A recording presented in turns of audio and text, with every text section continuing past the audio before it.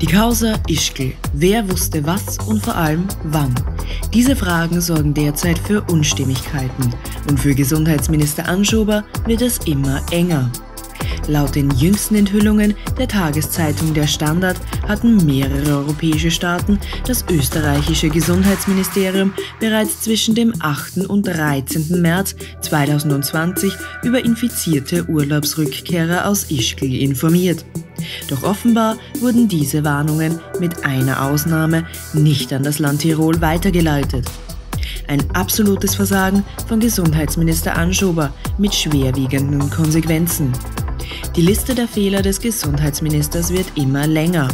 Wenn diese neuesten Enthüllungen stimmen, ist Gesundheitsminister Anschober rücktrittsreif.